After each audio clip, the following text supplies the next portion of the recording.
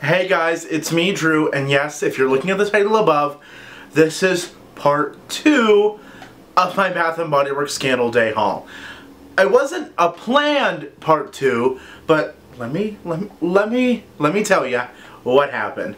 So, I went in on Friday, got all my candles. They didn't have any of the new spring ones, and I was okay with that, you know. Even though spring and fall are my favorite season, I despise summer. I despise it with every ounce of my being. I don't like being hot. I don't like being sweaty. I hate it. So, for me, I wasn't really looking for those. I really wanted spring. And where I work at my mall, there's a Bath & Body Works right next door. And I worked all day on Saturday, and the line was really long, and there was a little bit of a break, and I hopped over. They had so many new candles. Again, I did what I always do. I black out, and I buy a bunch of candles. And that's what happened on both Saturday and on Sunday. I digress. Let's get into it. I'm going to try to remember to do these in the order that I purchased them, but I mean, I don't always remember, but anyway, so on Saturday, I picked up a lot more of the florally spring scents, and I know in the candle community, people really like bakery scents. They don't really like the super florals or the super fresh. I love florals. I love fresh scents. Those are the type of scents that I typically do gravitate towards because they really speak to me. They're very natural. They smell like the windows are open. It's beautiful outside. So I do really like those. So the first one I got is Fresh Cut Lilacs. Now I want to point out in the White Barn Core collection, which is what this is with the colored glass and the uh, rectangle label, they always are matte and they have this matte finish to them but it gets really dingy it gets really dirty. It's not a good look but unless you keep them pristine they look good. But other than that they don't look that way. I noticed the newer pours for Candle Day are this glossy color they're not matte. I'm hoping that they switch to that because I love this so much better. It just looks more expensive. It looks a lot nicer. So, anyway, I got fresh cut lilacs. I love this light purpley lilac color. It's perfect. Lilac bouquets, dewy greens, and soft spring air. It's exactly what it is. Like, at this point now, I'm like, I'm over Christmas scents. I want spring, but I'm like, whoa, rein it back, rein it back, Drew. Like, we still have a ton of Christmas to get through, but this fresh cut lilacs, for one, the wicks are like perfectly centered in here. The It's that really thick rope-like wicks with a um, with a core in the middle. I mean, I feel like this candle is going to be perfection when I light it, and I really hope so. It smells so good. It smells just like those big, bushy, purple flowers right out in the garden. You know lilacs, when you open your window and there's a lilac bush nearby, you smell it. They're one of the most fragrant flowers in the world, and uh, Bath & Body Works captured it perfectly. And what I like is it's not just lilac, it captures everything around it. It captures the fresh greenness of the grass. It captures the crisp spring air, the sunshine, the butterflies. It captures the entirety of spring in a candle. That's fresh cut lilacs. Speaking of the perfect spring candle, I picked up the Perfect Spring. Now, I think this is really interesting. This is a, like, it is a matte finish, but it's not um, on the glass. It is a wraparound. It has these leaves on it. There's a rectangle that says Flourish, and then it is the Perfect Spring. And the notes on the Perfect Spring are spring air, fresh grass, and apple blossom. Now, you definitely pick up a very watery apple tree fragrance. Now, apple blossom, just like cherry blossom, is not the fruit, it is the flower of the tree. So apple blossom, eh, you get just a little bit of a wateriness. You do get the crisp, like, apple, but it's a background apple scent because you're really capturing the essence of the tree. The green grass, now see what I like about this is there's scents like green grass. That's like too real for me, too like, ugh, it's too grassy.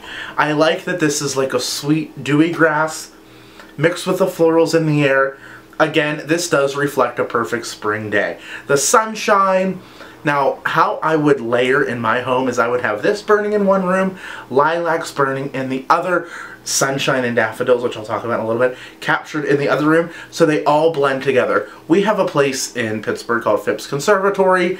I'm sure you have a conservatory near where you live, where there's beautiful fresh flowers. It's always so pretty inside, and this really captures it. Now I will say, if you've been following me for years, and I actually today was watching some of my old videos from like eight years ago, there were so many amazing candles. Cinnamon frosting, chocolate bacon cupcake, um, creamy pumpkin. There were so many amazing scents that I miss. And creamy nutmeg. And they just don't come back anymore. It's really sad. But anyway, Bath & Body Works used to have a scent Fresh Bamboo that smelled exactly like a specific room in Phipps Conservatory, and it was perfect. And I know the second I smell that again, I'll be brought, be brought back to like eight years ago when I was really into Slatkin and Company and really getting into candles, but this is pretty. It's a really nice spring scent and I love the like hammered metal lids. I think it really adds a, a little bit more of like I hate to say elegant because it's like hammered metal, but it does add more like of an industrial-esque type of look, even though it is a spring candle. I like it. Sticking with the hammered lids, we picked up four candles. I, there's nobody else here, uh, picked up four candles in this like I don't want to call it marble, but it does have the hammered lids. It has just a background with a one element on the front of a rectangle label, and this is Sweet Rosemary Vanilla. This is definitely a candle that was talked about a lot on Candle Day. I definitely knew I wanted to find it and pick it up, and I'm glad I did, and I'm kicking myself that I didn't get more, but what are you going to do? I have a lot of candles. The notes are fresh rosemary, sweet vanilla cake, and whipped frosting. Now for one, the color is beautiful. I love this like really like Kelly green type of color. Now, I watched a lot of videos and a lot of people say they smell cinnamon. That a lot of people say, I mean, one YouTuber said it smells exactly like cinnamon sugar donut. No, I don't get that at all. I mean, it's interesting. Uh, rosemary is a very like real herbal fragrance but with the vanilla cake and the whipped frosting it's almost like this is a spiced vanilla cake we have again I'm reminiscing about Pittsburgh we have a cake place called the Butterwood Bake Consortium. there we go, a little pause there. The Butterwood Bake Consortium, I think it's called Consortium, I'm not sure on that last word. And they make these beautiful cakes that are made from like herbs and flowers. And to me, this is a very herbal cake. And I can see how people can, this comes across as cinnamon, but I can assure you it's not cinnamon, it is herbal. But it's an herbal that is very warm and I think it's because the cake is so warm and moist that it's coming across that way. It's really different. I'm very, very intrigued to see what it's like when I burn it, but I really, really like it a lot. Sweet rosemary vanilla, it's different. I think it's going to be a cool like year-round kitchen fragrance, but again, interesting to say the least. Sticking with this collection, we have Mango Waters. And again, we have these beautiful orange flowers behind the Mango Waters name. And the notes are sugared mangoes, pink grapefruit, and fresh seagrass. This is a very juicy mango scent.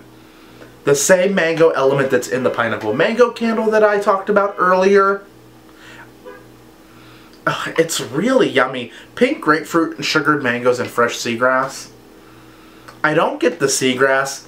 It's definitely a very citrusy, sour citrus, which is the grapefruit, and really bright, rich mango. And the color is interesting. It's like a peachy color. I really like it. I do know that one reviewer said that it smells a little sour when you burn it, but I don't know. I really, I'm really impressed. I like, I like the blend. It's almost, this sounds crazy. I feel like they're almost trying to get the Capri Blue vibe from this volcano, but it's not the Sunwash Citrus that I know people say smells exactly like volcano. It's much different, but it has that same like green citrusy type of fragrance. Really, really pretty. Like I said, these spring scents are totally up my alley. I love spring so much. Like, I could take or leave tropical, like, cocktaily, beachy scents. I hate the beach. So, to me, like, spring scents are totally there for me. And this is spring in a candle in a different way. I really I really need to stop saying, and I really like it. I obviously really like it if I picked it up. I mean, I know I definitely do purchase some candles that I don't love, but it is what it is. I'm addicted to home fragrance. Sunshine and Daffodils is the next one on the list. Sunny Daffodils, Bright Citrus, and Luscious Greens. This color, Sunshine Yellow, so pretty. Again, have these really thick core wicks that I love. They've captured sunshine in a candle, and I love every second of it. Sunny daffodils, bright citrus, and luscious greens. Daffodil is a hard scent to really capture because to me, they don't really have a scent. To me, it is a a citrusy scent, almost like a lemon lime without being pledgy or like Sprite-esque, like lemon lime soda. It does have a little bit more of the green luscious green. So it doesn't really tell you what greenery is in it, but it definitely is like a plant-based green note. This almost comes across as like a body care type of scent. I feel like this is like a lotion or a body spray that um, they've had before. I want to say it's not though. My favorite candle, my well, it wasn't actually a candle. It what? It was weird. It was for a split second. I think it was like, no, I don't even know, 2009, 10, 11. Um, Wild Citrus Sunflower was my favorite fragrance from Bath & Body Works of all time. And I kind of get that vibe from this, but I feel like it's not exactly or else I would have been like, that's Wild Citrus Sunflower. But I get that same sort of like bright yellow flower vibe from this and I think it'll be really pretty in the spring. Last but not least for that collection is the Blue Lavender Vanilla. I think this is interesting that they poured this in like a literal like baby sea foam or sea foam sea blue color for lavender vanilla because lavender is purple. It's definitely not the same shade of blue like uh, Berry Spritzer was, but the notes are lavender blossom, creamy vanilla, white woods, and sugared musk. If you smelled this before, there's no change. It's this very rich lavender vanilla, creamy, creamy vanilla with like a little bit of an herbal lavender. It's definitely a sweet scent though, so even though there is herbal vanilla in it, or herbal lavender, the sweet vanilla definitely makes this a more sweet candle. But it's always a good one. It's a good bedroom scent. It's a good all year scent, good at night, just a good relaxation type of scent. And like, I think it's interesting that this is like an aromatherapy line scent, but they market it not aromatherapy either. It's, it's one that goes both ways, and I don't know, but it's a really pleasant scent. And uh, if you're into lavender scents, definitely add this to your lavender arsenal, but it's not anything like showstopper. I mean, there's definitely been a lot better lavender fragrances, but it's still a good one. While I move on to some more candles, I definitely wanted to give a shout out to Lewis at the South Coast Plaza store in California. I found him on Instagram. We were chatting a little bit. He's such a great guy, so cool. Um, yeah, and I know he's been uh, exhausted from the craziness of Candle Day. So if you're watching this, Lewis, uh, big fan. You're such a cool guy. And yeah. Anyway, continuing on. I picked up Sugared Snickerdoodle. This is, I don't have this version, the Holiday Traditions. I have it in that one with the gold leaf pressed white barn line. But it smells exactly the same. Warm spices, creamy vanilla, and sugared musk. Like a very cinnamony, buttery baked cookie scent. The wicks on this are very, very, very high, but it's a really good one. I know my friend Lynn, her kids love this scent. She got one a few weeks ago and they're like, oh my god, I need to get more. It's so good. It's just funny. Um, how like kids really like certain candles and I mean they're adults but still mm, it's so yummy I mean there's no reason why anybody wouldn't like it it's not overly cinnamony but it does have that like Christmas cookie baked scent I love it Next, from the Roaring Twenties collection, is Hot Buttered Rum. From my previous haul, this is the only one besides Peach Bellini that I didn't have, and I have a love-hate relationship with Peach Bellini. I didn't need it.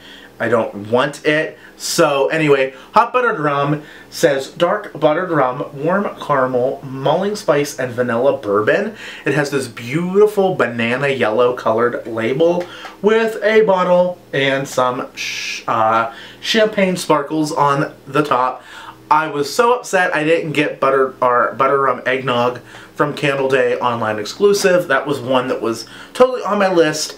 I was on my phone trying to order it, but kept crashing, and I was just like, it's not meant to be, and then they were sold out and still not restocked, and it's Monday night, so, oh well. Anyway, this is very buttery. It has that very similar butter note that Sugared Snickerdoodle has, but rum, I really like alcohol in fragrances. I really like the way that they play with it, but this isn't like super strong on the rum like I would have liked it to be. It's nice, they bring it out every year.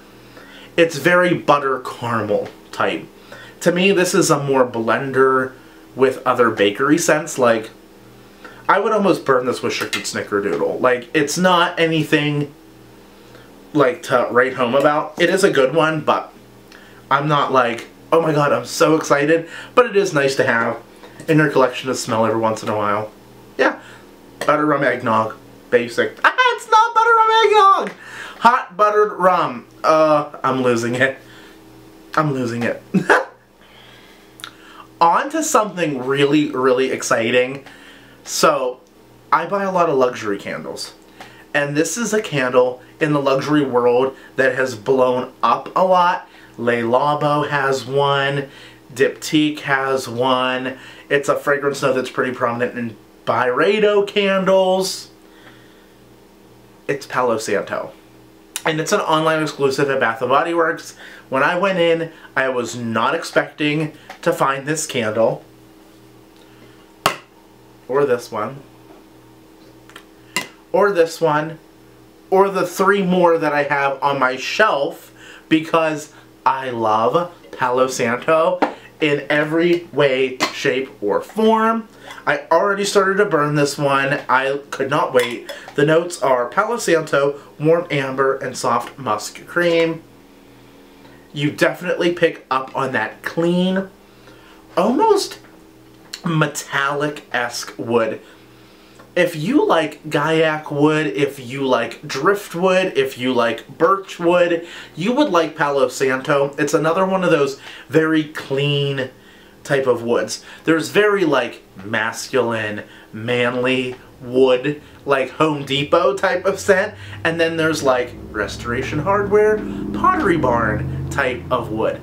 This is a Restoration Hardware, Pottery Barn type of wood fragrance. It's very bright, very clean wood, and I mean, if I was going over a guy's house and his house smelled like this, I'd be like, put a ring on it because you know good candles and good wood scents.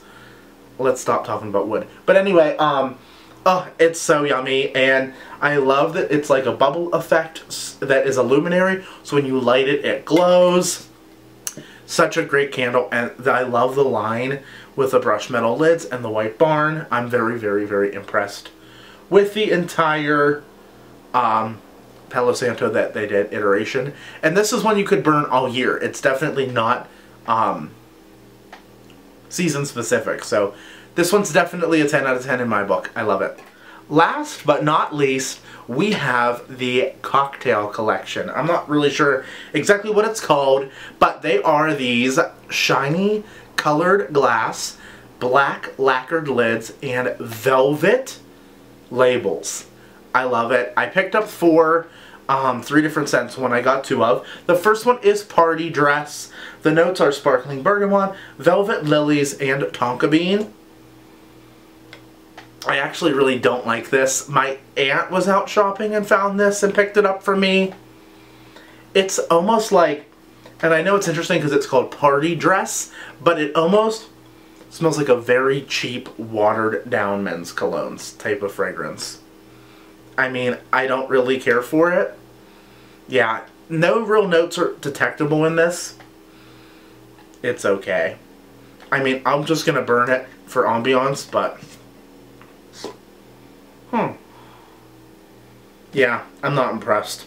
And it's funny because I really didn't see many people hauling this, and I see why. You win some, you lose some, right?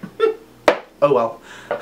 Next, we have Merry Mimosa. It has this very pretty baby pink type of color jar.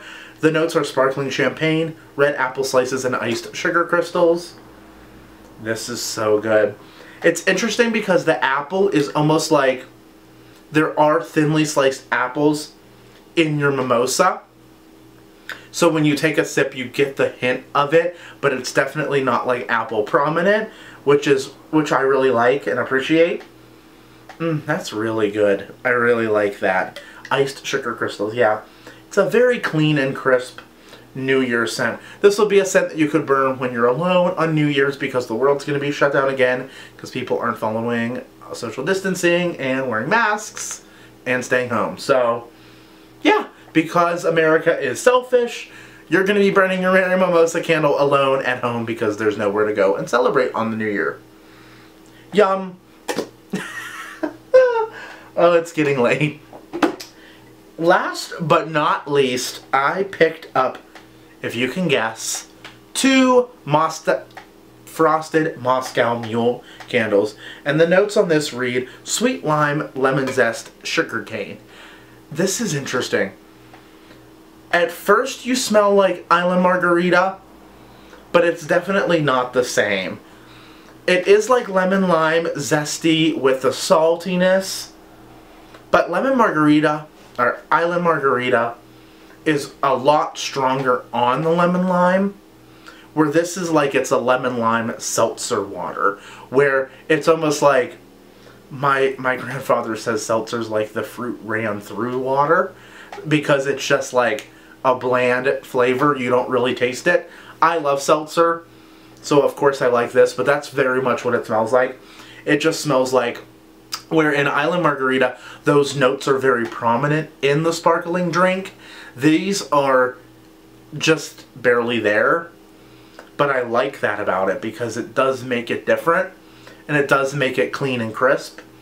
And it also justifies burning a very citrusy, summery-esque scent in January and being okay with it because of the sparklingness.